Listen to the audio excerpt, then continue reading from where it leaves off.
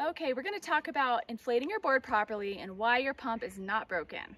Um, so first of all, let's go ahead and look at this gauge. All right, we're going to get a close up on this gauge and we'll see we have PSI and bar. So we're going by PSI. Um, most of your boards have a recommended PSI. It's typically a range. So it may range between 10 and 20 on the scale. Um, so our goal is to shoot for, you know, whatever the recommended PSI is on your board. Now, re realize that if it's a hot day, hot air does expand.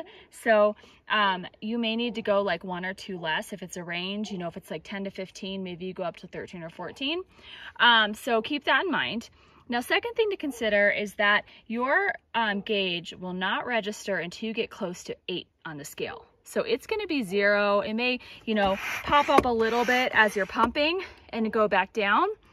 But realize that it's gonna take a good 10 plus minutes of continuous pumping for that to actually pop up to around the eight and start registering. And then the pumping's gonna get really hard, okay? Um, one thing to consider is that it takes the average person about 15 plus or minus minutes of continuous pumping to get their board fully inflated. All right, so I see so many people out there for like five minutes. They're like, oh, this is so hard. Their board looks like it's fully inflated. They feel it. Their board feels, you know, fully inflated and they, they think they're good to go. And then they get on their water and their board is like jello okay? You gotta get up to that recommended PSI. You're not gonna, your, your gauge is not broken, your board's not gonna explode. Um, trust your gauge. I've seen very few pumps actually broken. Typically if it's broken, it won't register at all. But realize, if it hasn't been at least 10 minutes continuous pumping, um, you probably haven't even got up to eight yet. Okay, so next thing, we got this guy, all right?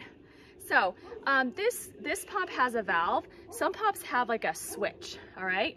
Sometimes it'll say single action, there'll be instructions, some, some, um, some of these will say single dual action.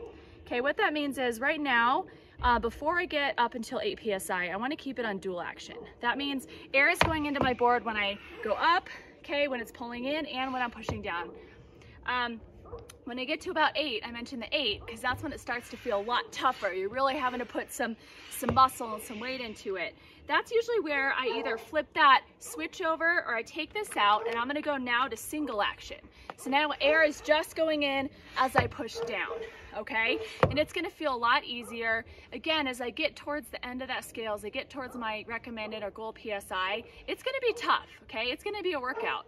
I consider this like a good warm up for my paddling all right? So just keep on pumping, keep on pumping. Your, your pump, your gauge is not broken. Um, you want a good solid board when you head out. It's gonna give you more stability and more confidence on the water.